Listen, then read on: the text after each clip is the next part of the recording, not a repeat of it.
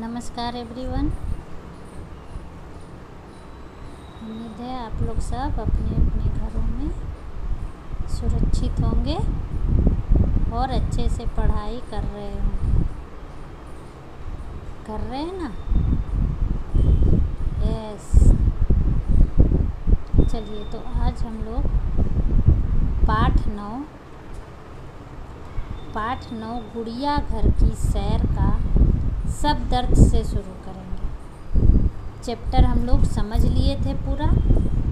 कठिन शब्द लिख लिए थे। आप लोग नोटबुक में लिख लिए थे कठिन शब्द? यस अब आगे शब्दार्थ से शुरू करेंगे। तो अब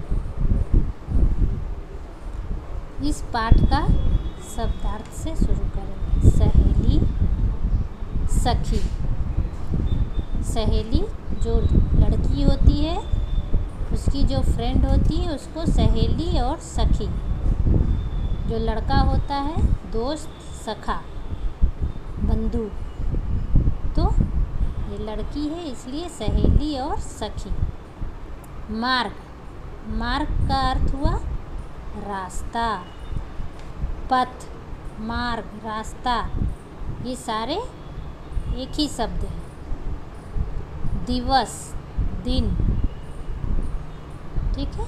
दिन को हम दिवस भी कह सकते हैं। विदेशी। विदेशी का अर्थ क्या हो गया? दूसरे देश की, जो अपने देश से बाहर का हो। जैसे हम किस देश में रहते हैं? बताइए। हम किस देश में रहते हैं? भारत। हिंदुस्तान, है ना? तो ये हमारे देश का ना हो के ये हमारे देश से बाहर का, दूसरे मुल्क का, दूसरे देश का है तो ये विदेशी कहलाएँगे। रोचक। रोचक मतलब मनोरंजक मन भावक ठीक है? रोचक जो हमें अच्छा लगे, मनोरंजक। कार्टूनिस्ट। कार्टून तो पता ही होगा। कार्टून। आप लोग देखते हो ना टीवी में कार्टून? अपना अपना फेवरेट कार्टून। तो कार्टूनिस्ट जो बनाता है व्यंग्य चित्रकार कार्टूनिस्ट जो इन कार्टूनों को बनाता है। जैसे फ़िल्में बनती है, वैसे ये कार्टून बनाते हैं। कार्टून कलाकार के द्वारा चित्र डालकर और बनाते हैं। गुड़िया घर, गुड़ियों का घर, जहाँ बहुत सारी गुड़िया रखा रहे, वहाँ गुड़िया घर। गुड़ियों का घर। बाल बाल का मतलब यहाँ बालक। बाल का मतलब बालक। फिर है ऑफ़िस।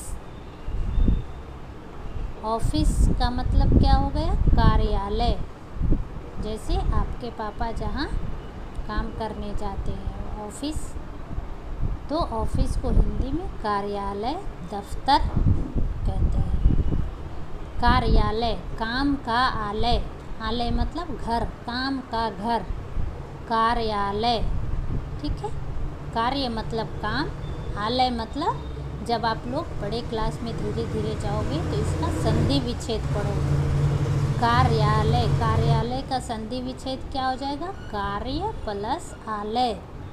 कार्य मतलब काम, आलय का मतलब हो गया घर, ठीक है? तो जहाँ काम किया जाता है, ऑफ़िस। ऑफ़िस क्या हो गया? अंग्रेज़ी शब्द देखिए, हम एक बार जब व्याकरण पढ़ा रहे थे तो आई थिंक चैप्टर टू और थ्री थ्री होगा शायद। उसमें वर्णों को पढ़े थे ओ ओ जिसमें चंद्र बिंदु नहीं होता है। सिर्फ़ ऐसे चंद्र ही होता है, उसमें बिंदु नहीं लगा होता है। वो सारे अंग्रेज़ी वाले शब्द होते हैं। तो देखिए, ऑफ़िस। ऑफ़िस भी अंग्रेज़ी वाला शब्द है, इसलिए सिर्फ़ ओ इसमें चंद्र बिंदु नहीं है, ना तो बिंदु है, ये सिर्फ़ चंद्र है। डरावना। डरावना का मतलब भयानक। जिसे देखकर कोई भी डर जाए। डरावना, भयानक। क्लिनिक, अस्पताल। ठीक है? जब हमारी तबीयत थोड़ी ख़राब होती है, जब हम सिक हो जाते हैं तो हम कहाँ जाते हैं? अस्पताल। डॉक्टर के क्लिनिक में। डॉक्टर जहाँ बैठते हैं, उसे क्लिनिक कहते हैं, अस्पताल। ठीक है? तो आपको ये हिंदी शब्द भी समझने हैं। बहुत ऐसे शब्द हैं जो अंग्रेज़ी में तो हमें पता होता है, लेकिन हिंदी में नहीं पता होता है। तो क्लिनिक क्लिनिक भी अंग्रेज़ी शब्द हो गया। इसको हिंदी में अस्पताल। ठीक है? चलिए।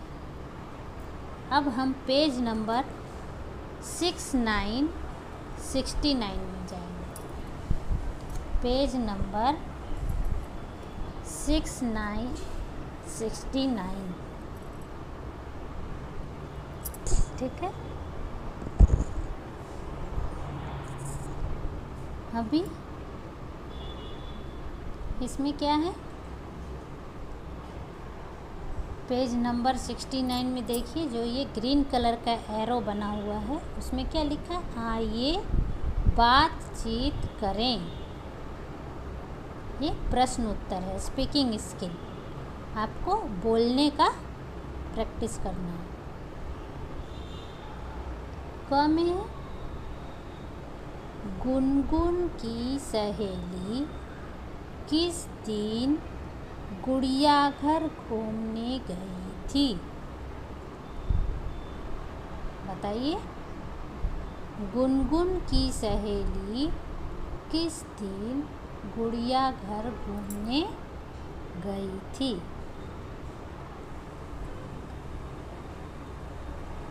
इसका आंसर किसी को पता है? गुनगुन की सहेली किस दिन गई थी? रविवार को। कब गई थी? रविवार को। ठीक है? अब है ख। बाल दिवस किस दिन मनाया जाता है? बाल दिवस कब मनाते बाल दिवस का अर्थ क्या हुआ? चिल्ड्रंस डे हम मनाते हैं ना? तो चिल्ड्रंस डे कब आता है?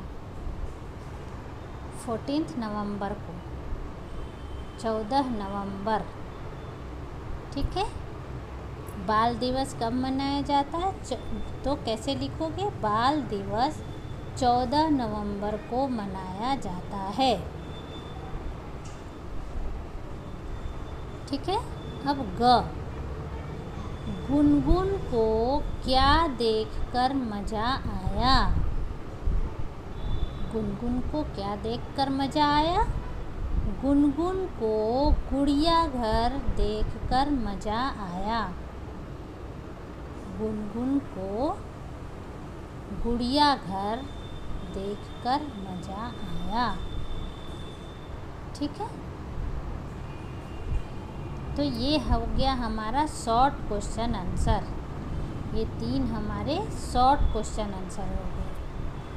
अब जो पर्पल कलर का है एरो बना हुआ, उसमें है, अब लिखा जाए।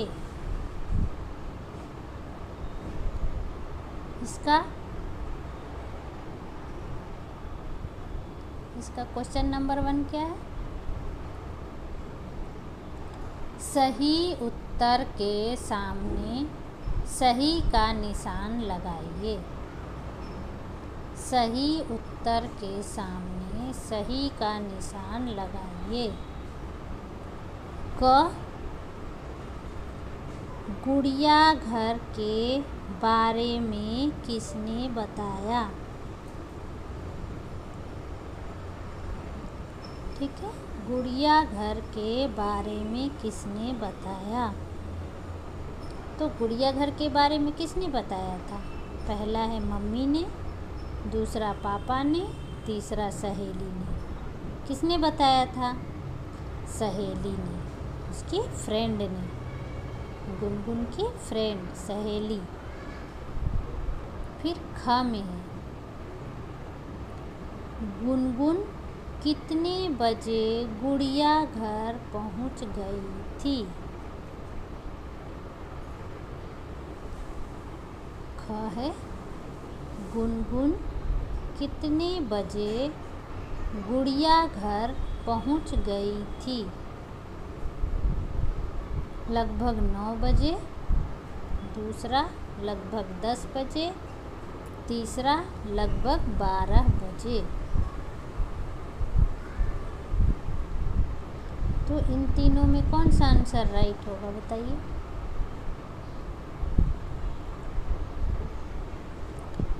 गुनगुन कितने बजे पहुँच गई थी गुड़िया घर लगभग दस बजे।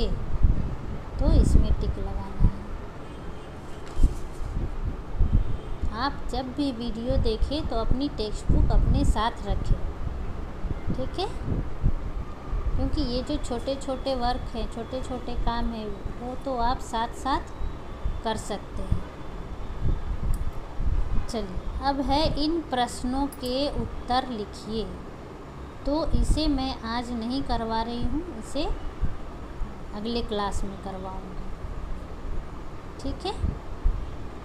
तो हम लोग पेज को पलटते हैं। पेज को पलटिए।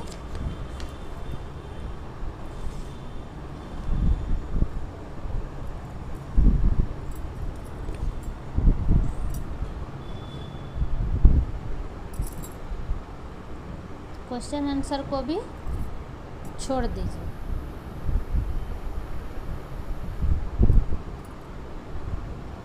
देखिए क्वेश्चन नंबर थ्री थ्री में क्या है?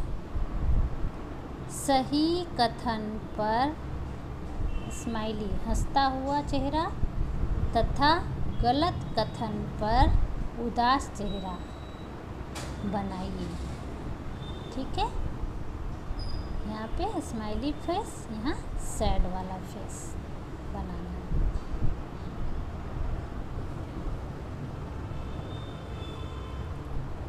फिर क में है, गुनगुन को बहुत दिनों बाद नानी की याद आई।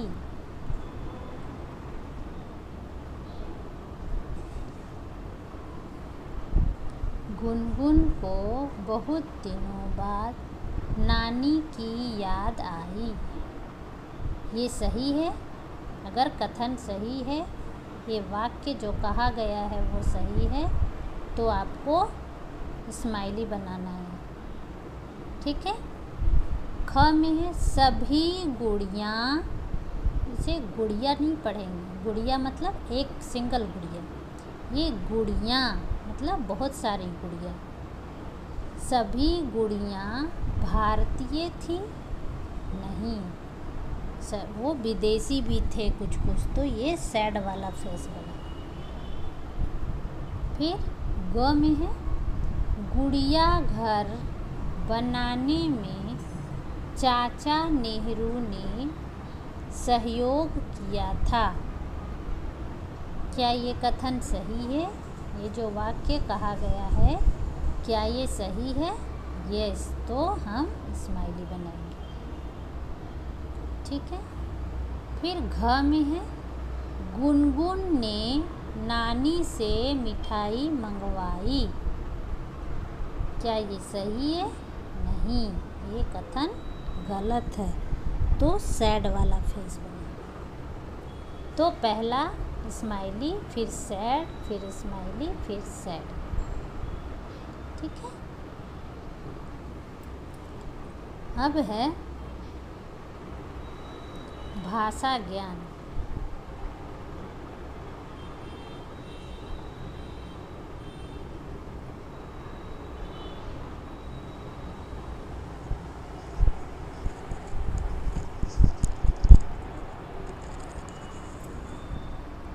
अब है भाषा ज्ञान। इसमें हम लैंग्वेज स्किल के बारे में पढ़ते हैं। इसमें क्वेश्चन वन है। एक शब्द का अनेक शब्द लिखिए। एक शब्द का अनेक कहने का अर्थ क्या हुआ? एक वचन और बहुवचन। एक मतलब एक वचन, अनेक मतलब बहुवचन।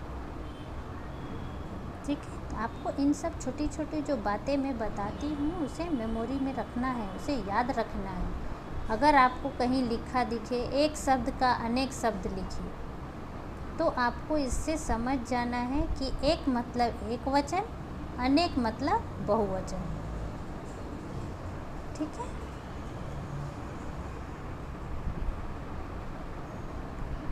क में है?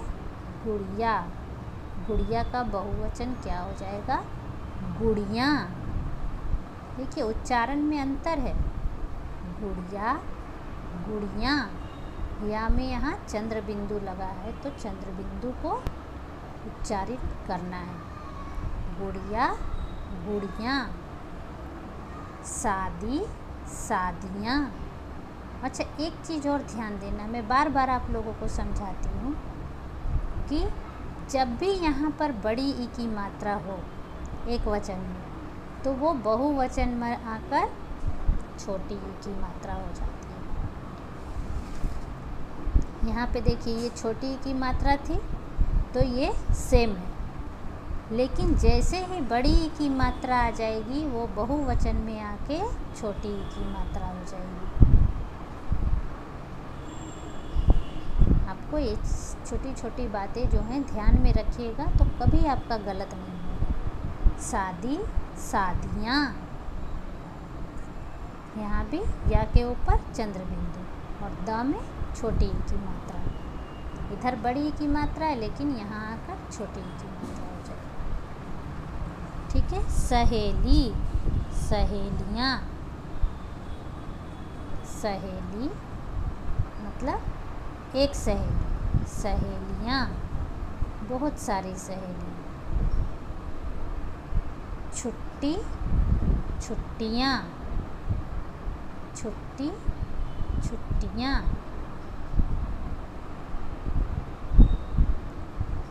तो ये हो गया हमारा एक वचन और बहुवचन तो आज हम लोग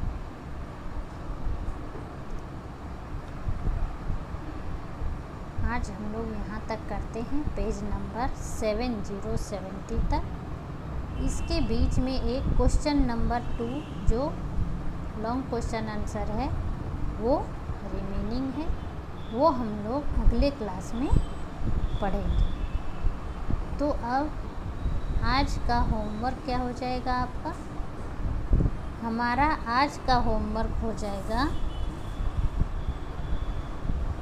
इधर तो आप लोग देखिए, यहाँ से देखकर टेक्स्ट बुक में क्लास वर्क का सारा लिख लीजिएगा स्माइली बनाना, करना, ये तो सब कर लीजिएगा लेकिन आज का होमवर्क है हमारा, पीछे का पेज ये शब्द अर्थ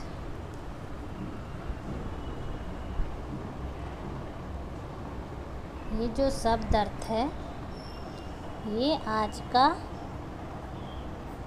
होमवर्क है आपका। कहाँ लिखना है? नोटबुक में। कहाँ लिखना है?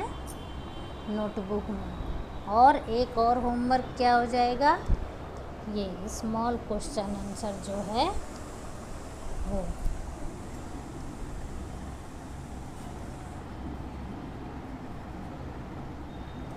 ये हमारा क्वेश्चन आंसर तो आज का दो होमवर्क है हमारा। शब्दार्थ और शॉर्ट क्वेश्चन आंसर तो शब्द अर्थ आप पहले हेडिंग डालेंगे नोटबुक में, फिर उसके नीचे शब्द अर्थ ऐसा हेडिंग डालेंगे, फिर वन टू थ्री फोर करके शब्द अर्थ का लिखेंगे। फिर उसके नीचे प्रश्न उत्तर। तो आपको प्रश्न लिखना है पहले पूरा गुनगुन की सहेली किस दिन गुड़िया घर घूमने गई थी? फिर उत्तर तो आप कैसे लिखोगे?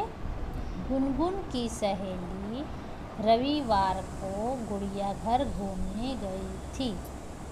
ऐसे लिखना, सुंदर सुंदर अच्छी लिखावट में आपको नोटबुक में लिखना है, ताकि आपकी नोटबुक देखने में सुंदर लगे। ठीक है? तो आज का कितना होमवर्क है आपका? दो। ओके एक शब्दार्थ एक शॉर्ट आंसर क्वेश्चन चलिए। धन्यवाद, नमस्कार। आप लोग अच्छे से घर में पढ़ाई कीजिए।